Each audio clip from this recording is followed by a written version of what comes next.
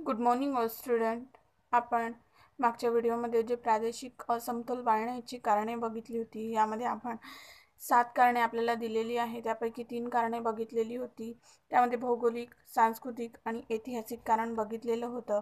आणि त्यानंतरची जे चौथं कारण आहे आर्थिक कारण ते बघूया. भारताच्या काही राज्याच्या काही क्षेत्रामध्ये अधिक आर्थिक विकास झाला आहे. भारताच्या जे काही क्षेत्र आहे.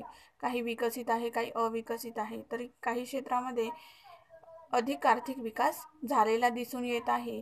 आणि आर्थिक विकासाच्या दृष्टीने काही क्षेत्र हे मागास आहे. तर काही क्षेत्र मागासलेले आहे आणि काही क्षेत्रामध्ये भरपूर प्रमाणात विकास झालेला दिसून येत आहे. यामुळे या मागास प्रदेशामध्ये असंतोष निर्माण होऊ लागला आहे. तर या मागास प्रदेशामध्ये अधिकाधिक प्रमाणात असंतोषाची बाब निर्माण झालेली आहे.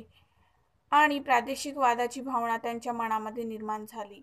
जो प्रादेशिक वाद आहे तर तो दिवसेंदिवस वाढत चाललेला आहे. आर्थिक जो मागासलेपणा कमी जास्त आहे तर या कमी जास्तपणामुळे आर्थिक मागासलेपणा सतत वाढत चाललेला आहे. उदाहरणार्थ आंध्र प्रदेशातील तेलंगणा प्रदेश आन राजस्थानमधील दक्षिण पूर्व राजस्थान महाराष्ट्रामध्ये विदर्भ उत्तर प्रदेशामध्ये पूर्वांचल बुंदेलखंड इत्यादी प्रदे प्रदेशांचा वेगाने विकास होऊ शकला नाही. तर हे प्रदेश अविकसित आर्थिक क्षेत्राच्या बाबतीत अविकसित असलेले दिसून येते. आणि ते आपल्यासाठी वेगळ्या राज्याची मागणी करू लागले आहे. तर आर्थिक विकास योग्य पद्धतीने योग्य रीतीने होण्यासाठी आपल्या स्वतंत्र अशा राज्याची मागणी करू लागले आहे. ओडिसाचे भू भूतपूर्व मुख्यमंत्री जे बी घट पटनायके सरकारी आकड्यांचा संदर्भ घेऊन असे म्हटले आहे की आर्थिक विकासामध्ये पूर्व राज्याची उपेक्षा कर यामुळे क्षेत्रीय आर्थिक असमतोल आणि विषमता वाढली आहे. जो क्षेत्रीय आर्थिक असमतोल आहे आणि विषमता ही सतत वाढत चाललेली आहे तर यामागील जी प्रादेशिक अस अस्मिता आहे तर ती टिकविण्यासाठी हा आर्थिक समतोल योग्य त्या प्रकारे कार्य करणे फार गरजेचे आहे. त्यानंतरच्या आहे भाषा. भारतामध्ये भाषामध्ये विविधता आढळून येते. उत्तर आणि दक्षिणची भाषा एक दुसऱ्यापासून वेगळी अशी भाषा आहे. भारतामध्ये जसं की प्रत्येक क्षेत्रामध्ये विविधता आढळते तसेच भाषेमध्ये सुद्धा विविधता असलेली जाणून येते.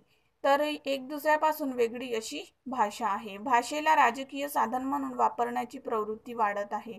तर राजकीय साधन म्हणून वापरण्याची ही पद्धती सतत वाढत चाललेली दिसून येते. भाषेच्या प्रश्नावर उत्तर आणि दक्षिण राज्यामध्ये हिंसात्मक आंदोलने झाली. तर उत्तर दक्षिण राज्यामध्ये हिंसात्मक आंदोलने झालेली दिसून येत आहे.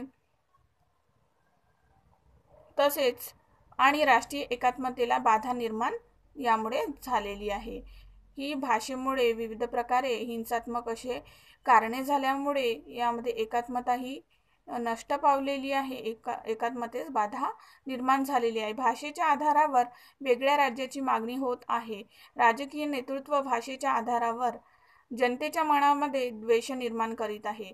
तर त्यामुळे काय झाले झालेले आहे की वेगळ्या राज्याची मागणी होत आहे. तसेच नेतृत्व भाषेच्या आधारावर जनतेमध्ये द्वेष निर्माण झालेला दिसून येतो. त्यामुळे प्रादेशिक असमतोल खूप मोठ्या प्रमाणात वाढलेला आहे. ही या भाषेमुळे काय झालेले आहे? असंतोषाचे कारण निर्माण झालेले आहे आणि एकात्मतास अडथळा निर्माण होत आहे.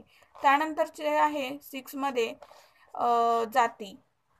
जातीच्या आधारावर सुद्धा प्रादेशिक वादाची प्रवृत्ती वाढत आहे. जातीच्या आधारावर सुद्धा प्रादेशिक वादामध्ये ची प्रवृत्ती वाढत चाललेली दिसून येते. ज्या प्रदेशामध्ये एक जात प्रमुख असली की तेथे प्रादेशिक वादाची प्रवृत्ती दिसून येते. एक जात प्रमुख असेल तर त्यामध्ये प्रादेशिक वाद दिसून येतो. हरियाणा आणि महाराष्ट्रामध्ये प्रादेशिक वाढ प्रादेशिक वाढविण्यासाठी जातीचे तत्व प्रमुख ठरले राहिले आहेत. तर हे जातीचे प्रमुख तत्व. महाराष्ट्रामध्ये सुद्धा प्रादेशिक वाढ प्रादेशिकता वाढविण्यासाठी जातीचे तत्व फार महत्त्वाचे ठरलेले दिसून येते. जाती व्यवस्था प्रादेशिक वादासाठी स्वतःहून महत्त्वपूर्ण तत्व नाही आहे. तर जाती व्यवस्था प्रादेशिक वादासाठी महत्त्वपूर्ण असे तत्व नसून जसे जेथे आर्थिक हित भाषेच्या समुदाय आणि धर्मासोबत जुळलेले असतील तसेच तसे हा प्रादेशिक वाद वाढविण्यासाठी खूप मदत मिळते. तर जाती हा सुद्धा प्रादेशिक वाद वाढविण्यासाठी एक भरभक्कम साधन असल्यासारखे दिसून येते. त्यानंतर आहे सेवन नंबरमध्ये राजकीय कारण. राजकीय कारणामुळे सुद्धा प्रादेशिक असमतोलता वाढत चाललेली आहे वाढत असलेली दिसून येते. राजकारणी व्यक्ती असा विचार करतो की जर वेगळे राज्य बनले तर त्यांच्या राजकीय ची पूर्ती सरळतेने होऊ शकेल. तर त्यांचं एक म्हणणं असते की राज्य जर वेगळे झाले तर त्यांची राजकीय जी महत्वाकांक्षा आहे ती पूर्ती सरळतेने होऊ शकेल. कोणतेही त्यांचे कार्य हे सरळतेने होण्यास मदत होईल. प्रादेशिक पक्ष जसे डी एम के अकाली दल झारखंड पार्टी शिवसेना इत्यादी. प्रादेशिक पक्ष स्वतःच्या स्वार्थासाठी एखादा मुद्दा घेऊन सरकार विरोधी किंवा समाजातील दोन गटामध्ये फूट फूट पाडण्याचा प्रयत्न करीत असतात. प्रादेशिक पक्ष स्वतःचे स्वार्थ साधण्यासाठी स्वतःचे हित साधण्यासाठी काय करत असतात? एखादा मुद्दा उचलून त्या विरोधी किंवा सर दोन समाजामध्ये फूट पाडण्याचा ते प्रयत्न करीत असतात. अशा प्रयत्नामुळे किंवा कृतीमुळे प्रादेशिकता प्रादेशिक जो असमतोल आहे तो वाढीस लागतो. मूल्यमापनामध्ये आहे. वरील माहितीच्या आधारावर असे लक्षात येते की प्रादेशिक असमतोल निर्माण करण्यासाठी विविध कारणे कारणीभूत आहे तर या कारणामध्ये आपण बघितलेलं आहे. आर्थिक कारण आहे भाषा जाती राजकीय कारण आहे. तर हे असे विविध प्रकारची कारणे महत्त्वपूर्ण प्रादेशिक वादाला ठरलेली आहे. तर राजकीय नेतृत्वाची स्वार्थी भावना हे सुद्धा मुख्य कारण आहे. राजकीय जे नेतृत्व आहे तर हे नेतृत्व करताना आपले हित साधण्यासाठी जे प्रयत्न केले जातात त्यामुळेही प्र सा प्रादेशिकता वाढत चाललेली दिसून येते. सामान्य जनता राजकीय नेत्यांच्या विचारांनी प्रभावित होऊन त्यांनी सांगितलेल्या मार्गाने चालण्याचे काम करते.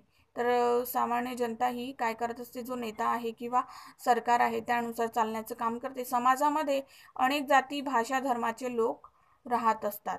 त्यामध्ये कमी जास्त प्रमाणात प्रमाण आढळून येते. तर विविध भाषा आहे जाती आहे तर यामध्ये विविधताही आढळून येत असते आणि कमी जास्तपणा ही आढळून येत असतो.